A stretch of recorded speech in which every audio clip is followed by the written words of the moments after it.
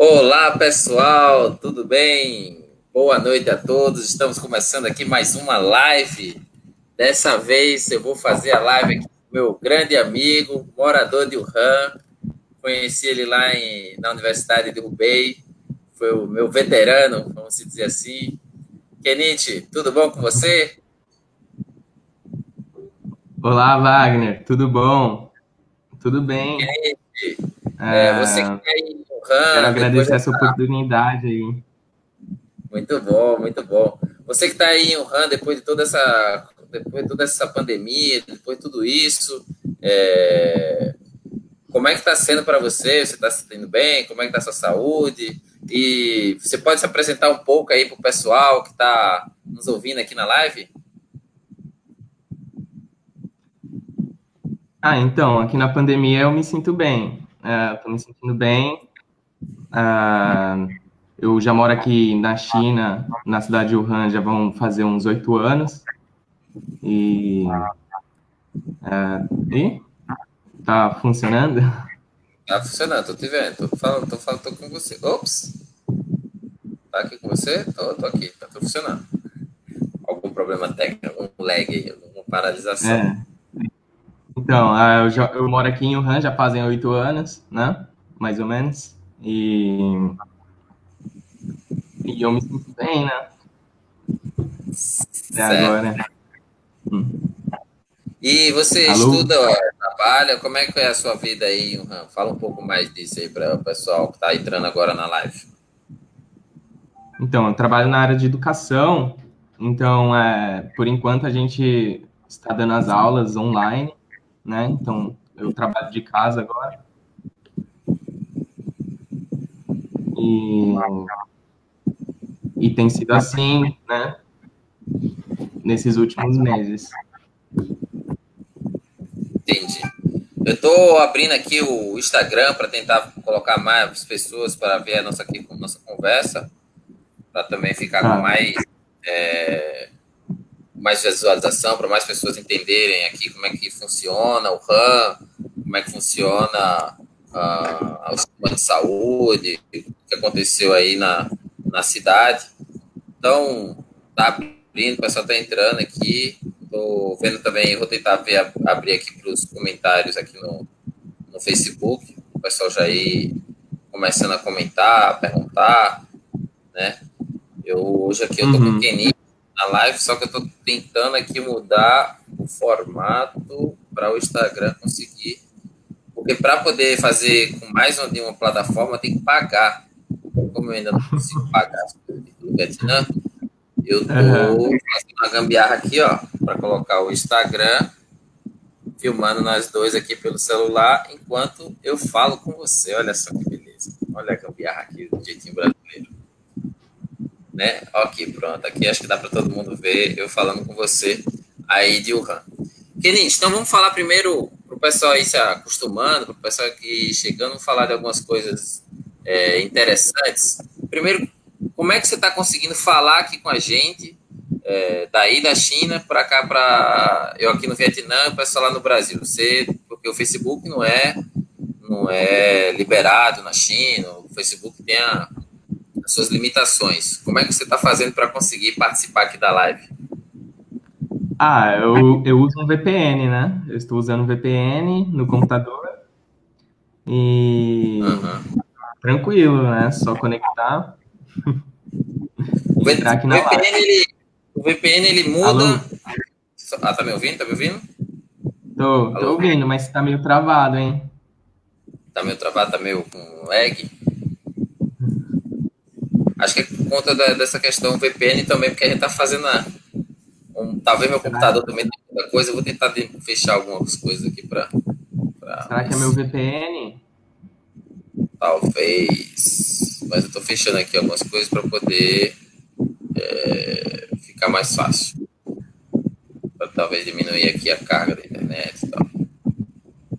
Para poder ajudar. Acho que agora vai melhorar. Ó, o Carlinhos está vendo nossa live, hein? O Carlinhos tá aí? E aí, Carlinhos? Ah, Carlinhos. E aí, rapaziada? Tem outras pessoas aqui no Instagram. Carlos, Diana. Algumas outras pessoas aqui no Instagram que tá vendo. Então, Kenichi, é, como foi? Conta para mim como é que foi toda a sua jornada para chegar em Wuhan depois dessa quarentena. Primeiro, primeiro entender o porquê que você foi para Wuhan. Como é que, por que você decidiu ir para Wuhan? Logo no então, começo da sua então. Logo no começo, era 2013, né, por aí. Eu tinha 19 anos, estava trabalhando no Brasil. E naquela época tinha um, como se diz, tinha uma cooperação muito grande entre, entre o Brasil e a China, né? A China estava estava crescendo muito, se desenvolvendo é, muito rápido, então tinha muitas relações econômicas com o Brasil naquela época. Então achei que seria, né, é, uma coisa muito boa se eu aprendesse mandarim, né? Então em 2013 ah, é, mesmo, né, eu procurei o, o Instituto Confúcio da Unesp em São Paulo e comecei a estudar mandarim, né? Aí, desde então, várias oportunidades começaram a aparecer para vir para a China e eu acabei vindo, né? Para a cidade de Wuhan, na Universidade de Hubei. Entendi. E a, você escolheu a Hubei porque ela já tinha consórcio com a Universidade da, da Unesp, do Instituto Confúcio da Unesp, em São Paulo. Isso, eu vim pela bolsa e acabei estudando seis meses de mandarim e depois acabei ficando, né? Interessante, interessante. E aí, agora vamos chegar no, no atual, nos dias de hoje. É, uhum. Começou a pandemia. Como é que você uhum. recebeu essa notícia? O que é que você sentia? O que é que você achava? Como foi receber a notícia que o Han estava tendo uma pandemia? Estava começando a ter uma doença? Então, no começo já se falava bastante da, de um vírus, né? mas é, as pessoas não levavam muito a sério, né? Eu não levava muito a sério, eu lembro, né, meus amigos também não. é, e eu lembro como tudo começou, tava, tava lá na casa do, do Vinícius, né? Minha casa também, né? é, tava lá na casa do Vinícius, do Wagner, e foi quando o Renato chegou, lembra? Renato chegou e o Renato tava de máscara e falando, nossa, como que vocês estão aí, tão de boa, né? Não estão sabendo o que tá acontecendo e tal. Aí, desde aquele momento, eu comecei a prestar mais atenção, né? Pensei, bom, vamos ver o que tá acontecendo de verdade, né? E nos próximos dias foi desenrolando melhor, né? O que que tá, qual era a situação mas é, naquela época mesmo eu nunca esperava que, que esse vírus ia tom, tomar essa proporção que, que, que tomou hoje em dia, né, de se espalhar assim pelo mundo e causar, né, toda, toda essa tragédia. É, é. Mas, mas uma, uma, uma pergunta, você não ficou em Wuhan durante a quarentena. Você saiu antes da quarentena e depois é que voltou, não é isso? Isso, eu era época de férias, era, era época do ano novo chinês e eu né, tinha entrado de férias, é, já tinha planejado uma viagem com a minha namorada e um pouco antes de Wuhan fechar, no dia 19 de janeiro, a gente foi para Malásia. Aí foi lá na Malásia que a gente que a gente recebeu a notícia, né, da mãe da minha namorada de que a cidade ia entrar em, em lockdown, né? Ia entrar em isolamento e que ia dar para voltar. Entendi. E como foi a volta? Como é que você fez para voltar para o RAM? Como é que como é que passou esse processo? Então, né, é, no começo a situação era bem crítica, né? As, é, tinha muitas pessoas infectadas na cidade de Wuhan. E o sistema de saúde não, não, não estava dando conta, né? Então, o que a gente fez foi, a gente resolveu esperar, esperar na Malásia, a gente falou, vamos ver, vamos ficar aqui um mês, né? Então a gente ficou um mês na Malásia, aí depois de um mês a situação ainda estava meio complicada, a gente foi para Tailândia, aí ficamos mais um mês na Tailândia, e depois desses dois meses, né, a situação em Wuhan começou a ficar mais controlada, né? uh, os hospitais, né, construíram dois hospitais para para para cuidar do povo, né, que estava que estava infectado e bom, as coisas estavam parecendo um pouco melhor. Então a gente, né, naquela, naquele momento falamos, vamos voltar para a China. E a gente foi para Shanghai. Aí em Shanghai a gente ficou mais 20 dias e depois desses 20 dias a gente estava liberado para vir para Wuhan. Entendi.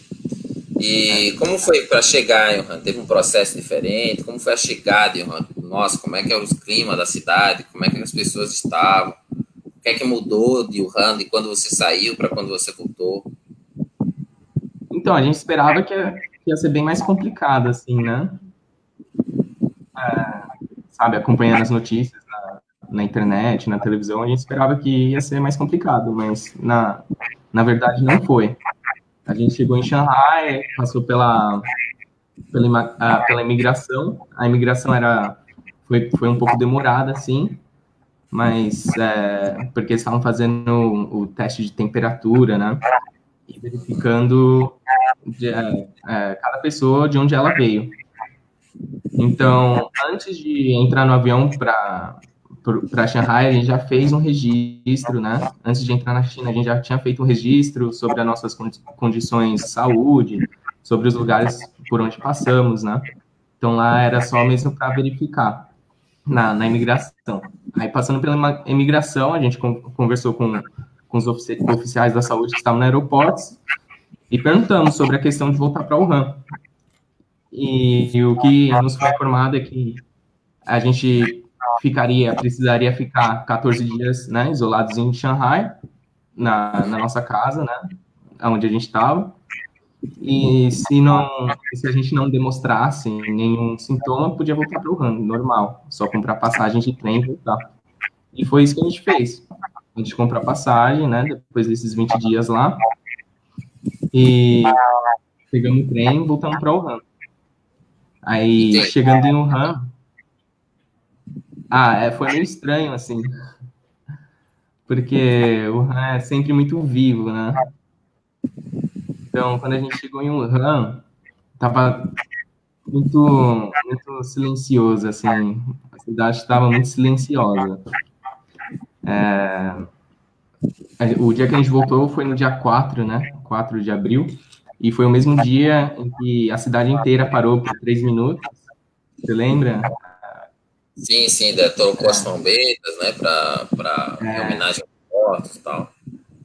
Isso, foi aquele, foi no mesmo dia que a cidade parou três minutos para lembrar todos os médicos, os, é, o, o, pessoal que trabalha na, na área da saúde, né, os trabalhadores que morreram, né, é, na linha de frente contra o, o coronavírus.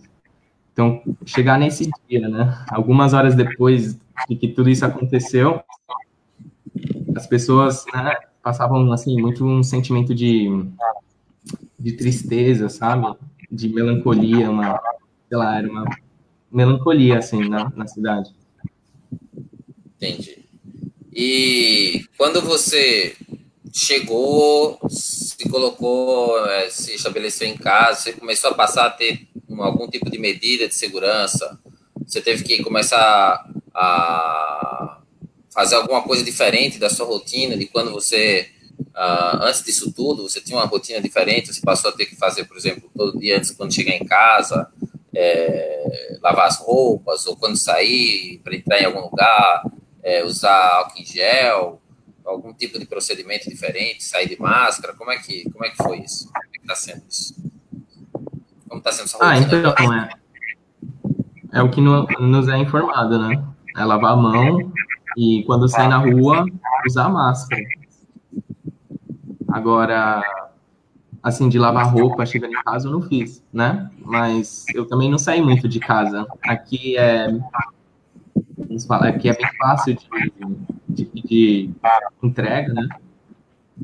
E, e as pessoas, os entregadores, eles acabam entregando aqui na porta do prédio. Então, eu só descia mesmo para pegar a, a comida, os mantimentos e voltava para casa. Entendi. E, Kenite, qual é a sua avaliação? Qual é a sua avaliação de toda essa, toda essa pandemia, toda essa discussão que existe sobre ela, sobre remédios, sobre aqui no, no, aqui no Vietnã, uh, não tem essa discussão sobre tratamento, aqui as pessoas têm tido um, é, a internação, tem feito, tem feito isolamento, tem tomado todos os cuidados e não está se proliferando. No Brasil está a discussão sobre a tal da cloroquina, que é um remédio fantástico, o Bolsonaro está defendendo para todo mundo.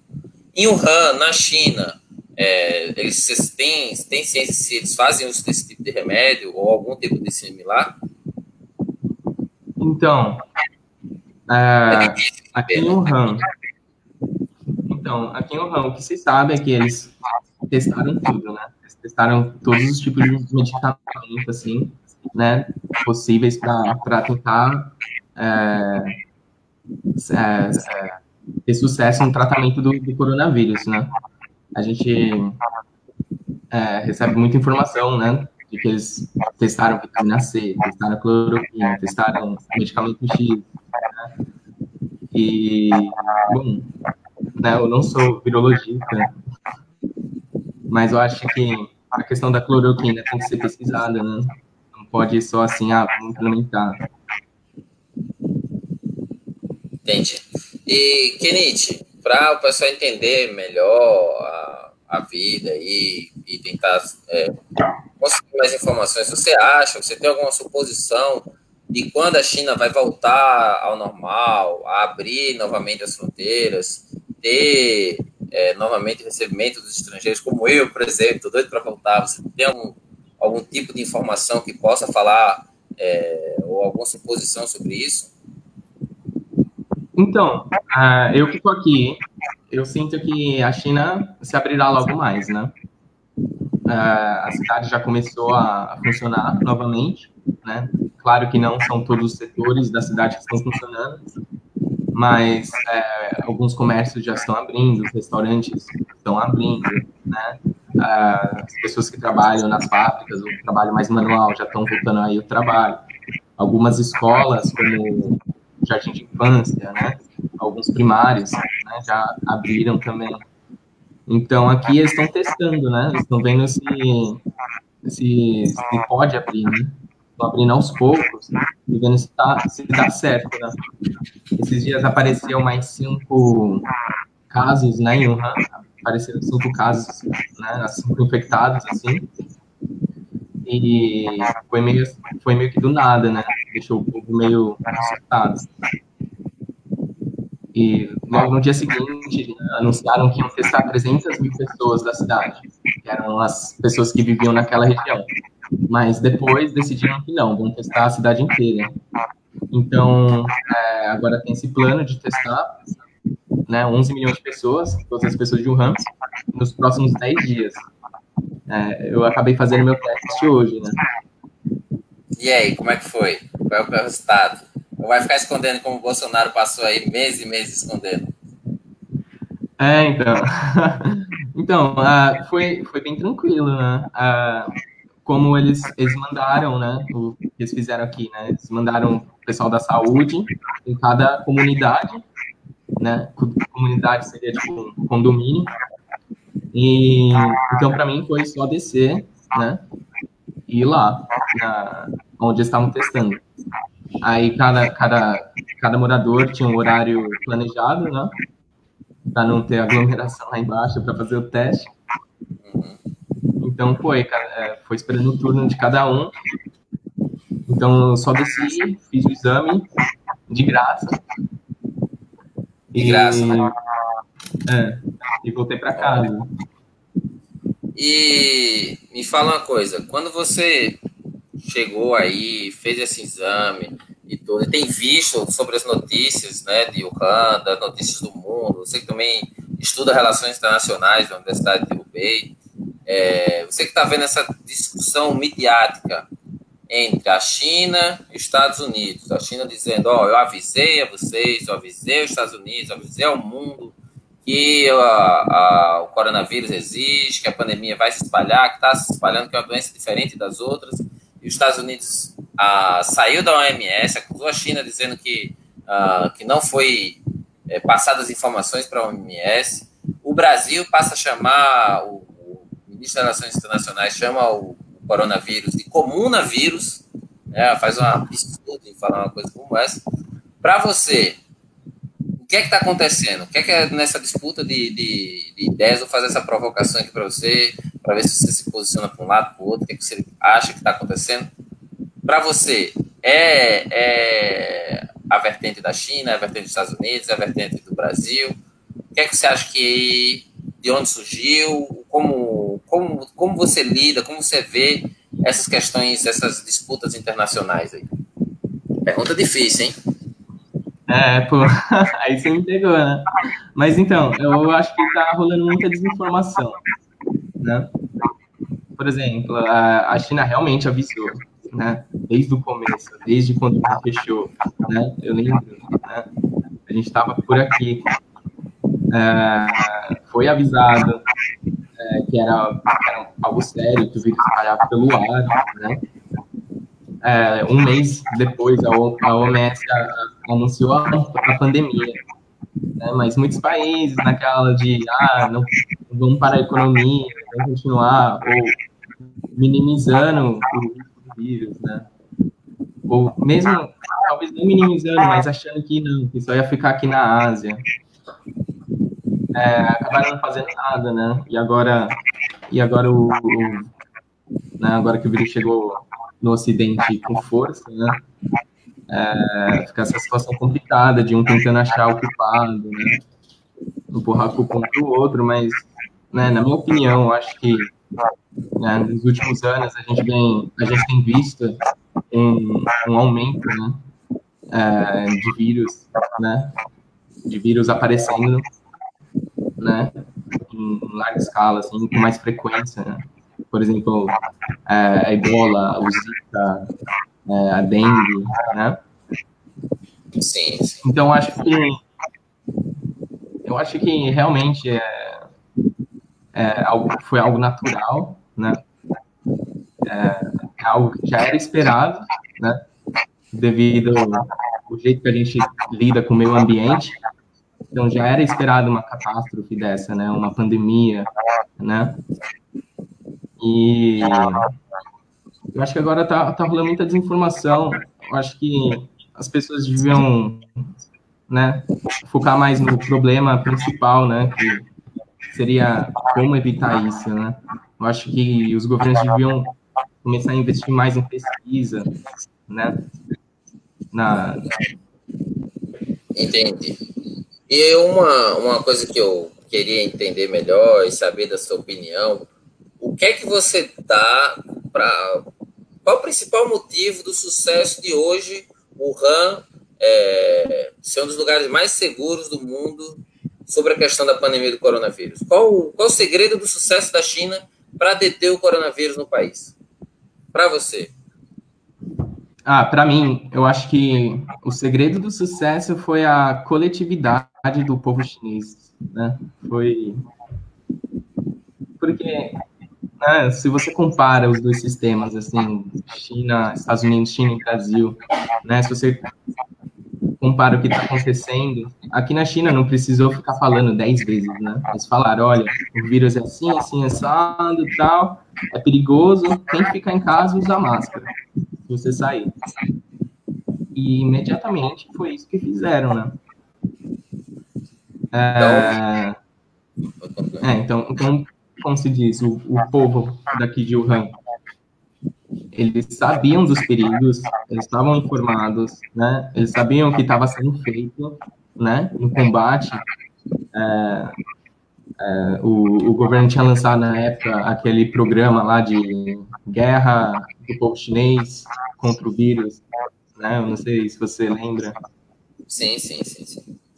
Então, as pessoas aqui estavam bem informadas, elas sabiam né, das consequências de pegar o vírus. E, e, o mais interessante é que elas tinham a noção de que o, o sistema de saúde estava sobrecarregado. Elas tinham a noção de que não era o vírus que ia né, matar todo mundo, e sim não ter, é, por exemplo, leitos de UTI suficientes, médicos suficientes para cuidar de todo mundo, caso né, todo mundo ficasse doente ao mesmo tempo. Então, é, eu acho que esse foi um fator principal, assim, para conseguir conter essa, essa pandemia em, em, em 76 dias aqui em Wuhan. Entendi. E para você, então, uma, uma, uma questão. Para você, em resumo, os principais fatores para vencer o coronavírus em Wuhan foi, um, é, a atuação do povo, né, de uma solidariedade do povo, de se juntar, de atuar em conjunto, em resolver o problema, a atuação do governo, é, a atuação do governo de agir em forma rápida, criar hospitais, é, informar a população, deixar a população informada, construir os mecanismos de proteção para o povo. Agora, e o socialismo? Vamos falar de socialismo? Você acha que o socialismo, o sistema socialista da China, o sistema de governo da China, é, ele foi, ele é um, um catalisador para o sucesso do, do, do, governo chinês no combate ao coronavírus? Ah, com certeza, né? Porque,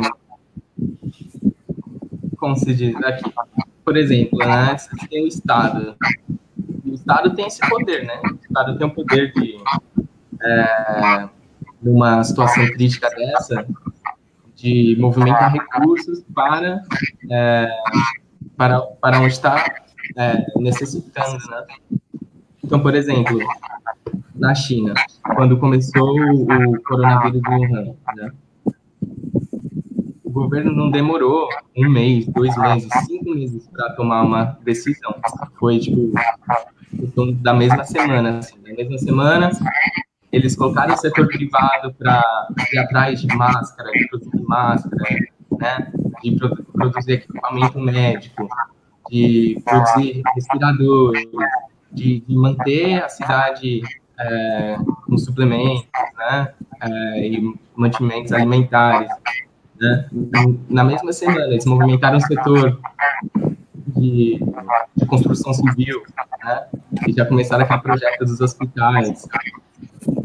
E, e assim, aí, então, tipo, você vê, a China usou todo o seu poder de Estado nessa situação crítica para o combate do vírus e para o bem-estar social, para que as pessoas consigam sair dessa o mais rápido possível, né?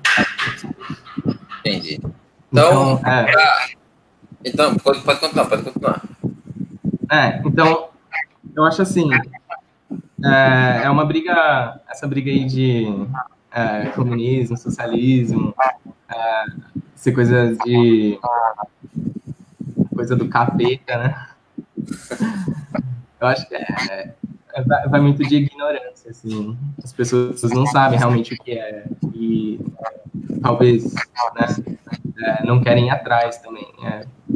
Morando aí no Brasil, a gente nem chega a, a, a estudar esse termo, né? Ou estudar mais adentro o que, que realmente é né, esses dois sistemas de, de governança, né?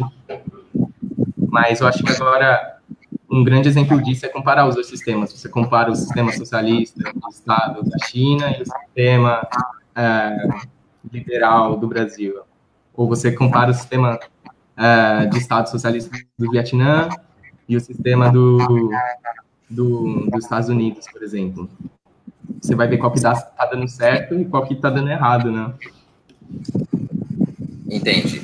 Então, você também dá a questão do sistema, você também dá os créditos ao sistema socialista da, da China pela efetividade de atuação, né, pela velocidade de atuação em colocar um plano em prática, em colocar as coisas para agir, o setor privado, o exército, os enfermeiros, a mobilização, hospital, operário, é, ciência, médico, tudo, tudo isso é, também faz parte do sistema de governo, o sistema, é, com sistema que existe no país.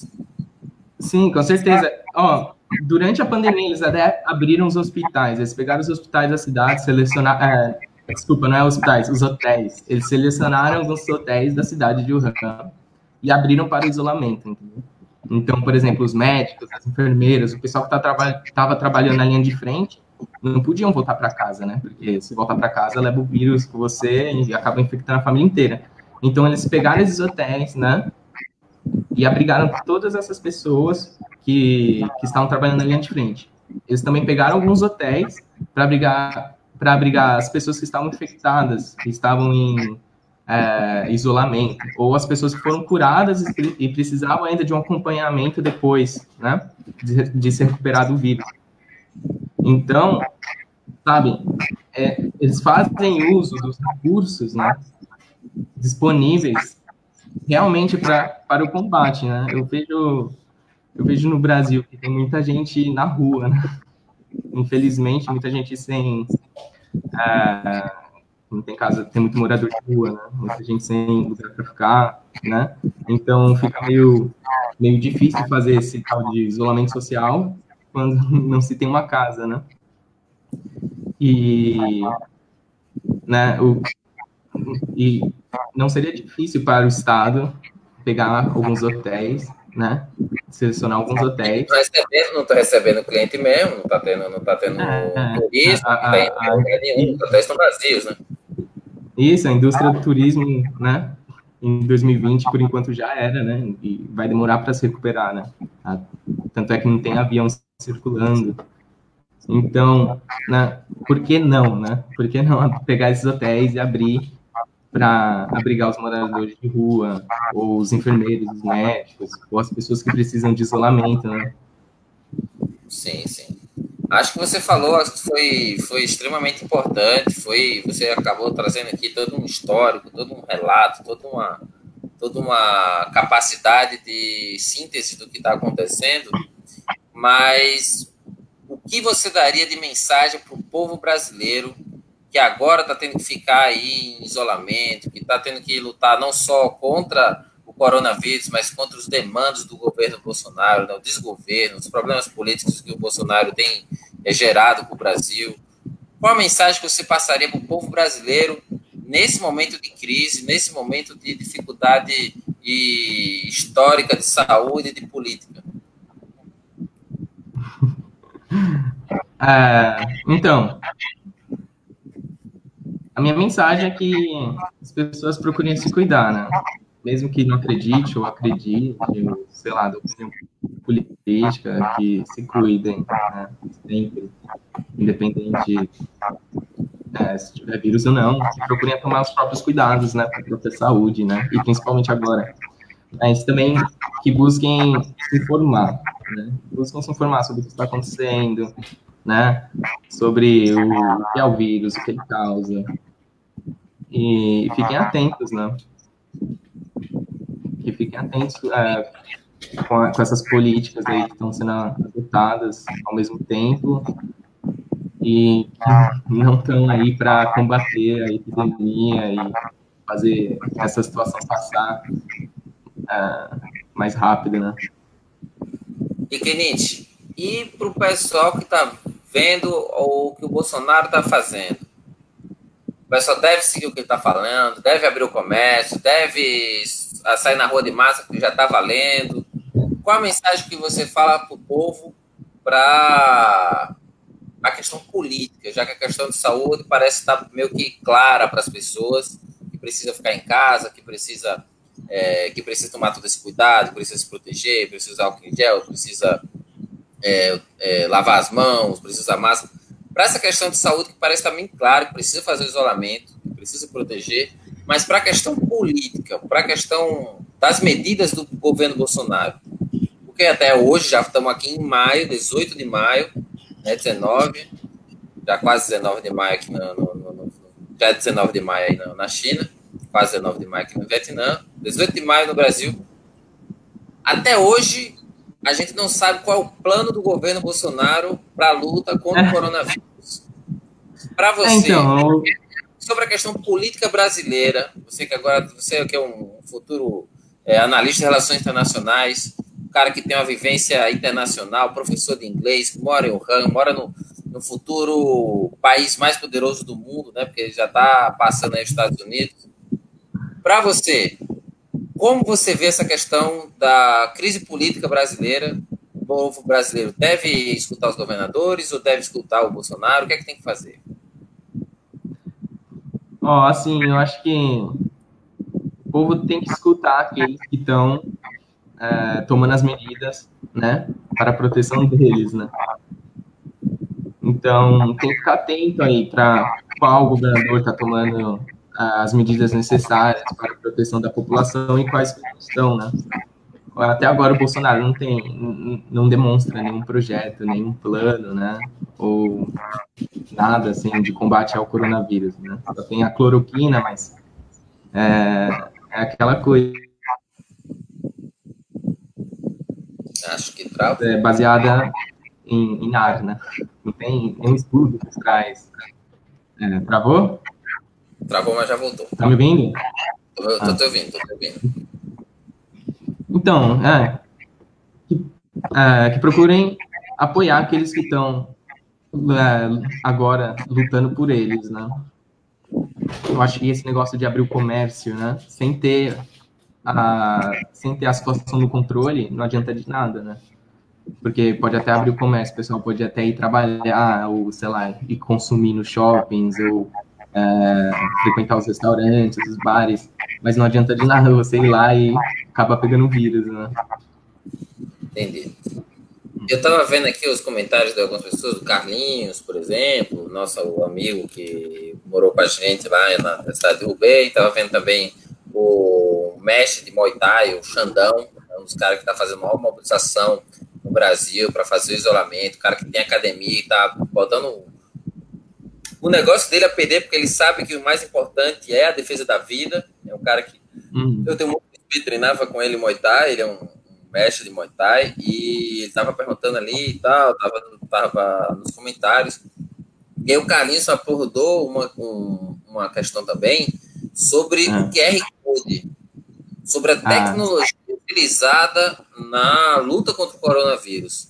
A utilização da tecnologia tem, tem sido muito bom, tem sido uma, uma grande vantagem da humanidade do século XXI, utilizar a tecnologia para combater a epidemia. Para você, como é que é a questão da tecnologia no combate ao coronavírus? Conta aí como é que é a questão do QR Code, que vai para passar para um lado para o outro, como é que tá? Como é que é isso? Então, para mim, a tecnologia é aquela coisa, né? A tecnologia está aí para auxiliar a nossa vida. A tecnologia está aí para é, fazer o nosso dia a dia mais, mais fácil, né? mais prático. E a questão do QR Code, eu acho que resume bem isso, né? Porque é, o QR Code né, é gerado através do que você do, do, que você escreve, né? Do que você digita lá no registro, né? Então não é um negócio que, sabe, eles, é, que eu já vi muito, assim, de, de, notícia fake, né? Falando que é talvez algo forçado, etc. Não, você é, faz registro, né? Você escreve seu nome, você escreve suas, suas situação da saúde, você fala é, escreve se, é, se você teve alguns sintomas nos últimos 14 dias, né? E a partir daquilo ali, o, a, daquelas informações, o QR Code vai ser gerado. E vai ser gerado o QR Code verde. Né? Você não escrever lá que teve febre, ou etc. Se você escrever que está saudável, vai gerar o verde. E como ele funciona? Funciona assim caso você tenha alguns sintomas, né, demonstre febre, de garganta ou dificuldade de respirar e vá ao hospital, né? A partir do momento que você informa o hospital, seu QR Code vira. Só um minuto, Kennedy, que o Karim me deu um alerta aqui que parece que tá tendo muito eco.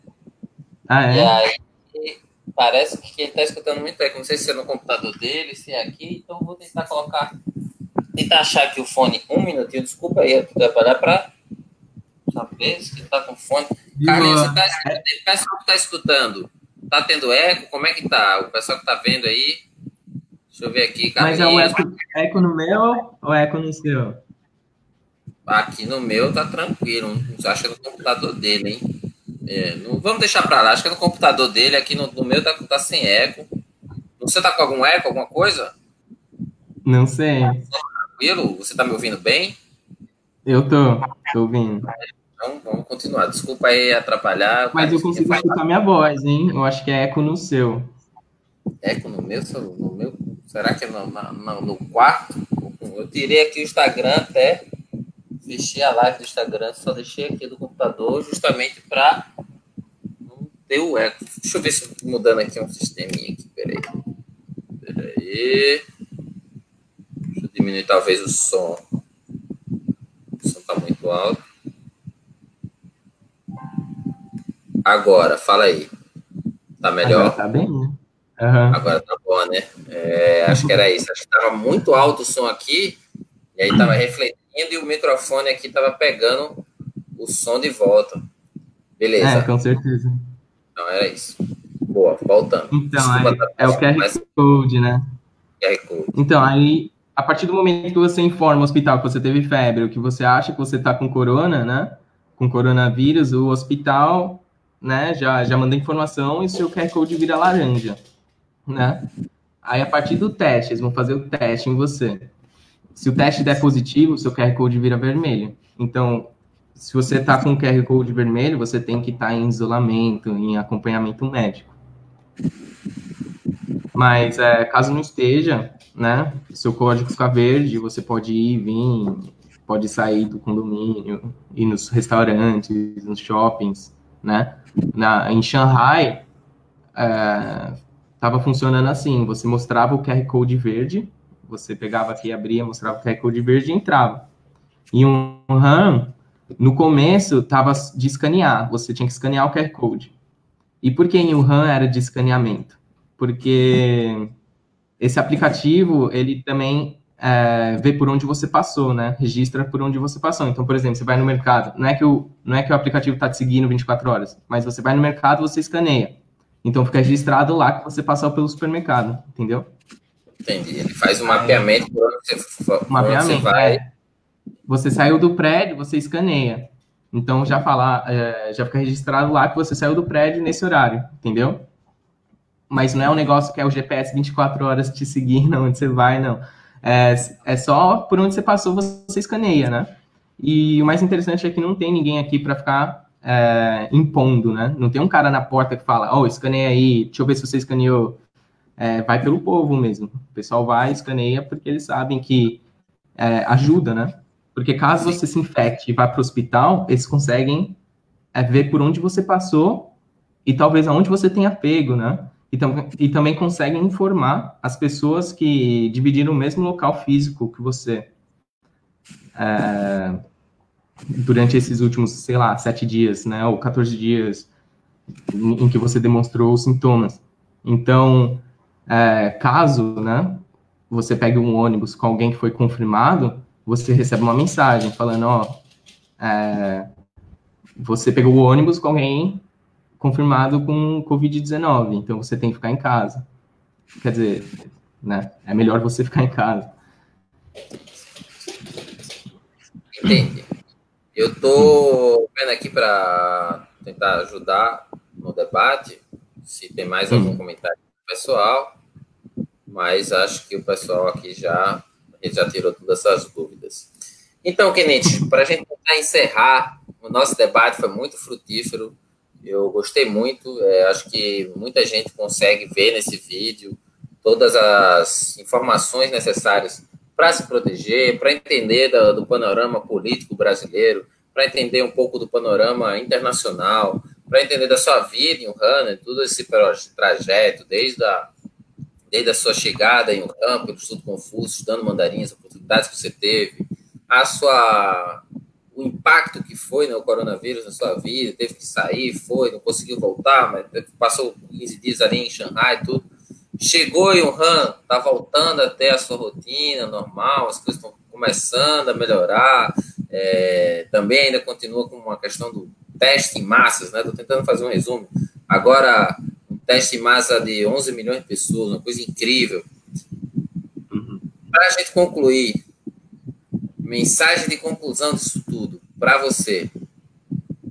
Pra, eu vou fazer uma pergunta que eu gosto muito, que é. Não sei se você já assistiu um, um programa que tinha na TV Cultura e eu me inspirava muito, gosto muito de assistir. Um programa chamado Provocações. Já ouviu falar? É. Sim, você vai me perguntar o que é a vida, né? Exatamente. O que é, que é a vida para você, Kenetinho? No ah, momento de pandemia, pensar sobre isso, você chegou a pensar? Cheguei. Pior que cheguei a pensar, sim.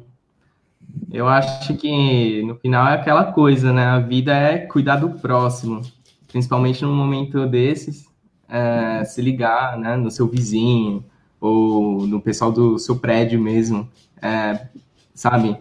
É, no momento difícil desse, não é esperar o governo ou, sei lá, algum salvador da pátria vir aí te ajudar, mas sim vocês, você mesmo, buscar fazer esse papel aí, né? De organizar a sua comunidade, de ver quem está precisando, quem que não está, né? E cuidar do próximo, acho que é, é isso aí. Muito obrigado, Kenit. Foi uma ótima resposta. Acho que foi assim, um grande prazer conversar com você sobre é, essa, essa situação, essa conjuntura internacional. É um grande prazer estar com um grande amigo. Espero vê-lo logo aí em Wuhan, se Deus quiser, aí no próximo semestre, mais tardar em agosto, já teve já aí em Wuhan para a gente conversar. É, uhum. E muito obrigado por participar aqui da live. Acho que a gente vai encerrando por aqui. Tem mais alguma coisa que você possa falar? O que, é que você acha? E, e é isso. Ah, é. Só que acho muito bacana essa iniciativa aí de deixar ser registrado, né? Da gente que mora aqui, que, que, vive, que viveu aqui nos últimos anos, né? É, acho, acho muito bacana o que você está fazendo. E espero você aí voltar para o RAM então tá ótimo. Um abraço, Kenite. Até a próxima. Te vejo aí em Wuhan. E se até lá não tiver aberta a China, se até se demorar um pouco mais, se alguma coisa mudar, a gente faz outra live aí para conversar com o pessoal de novo, trazendo mais notícias, beleza? Beleza, beleza. Obrigado. Tchau, tchau, Kenite. Falou, Wagner.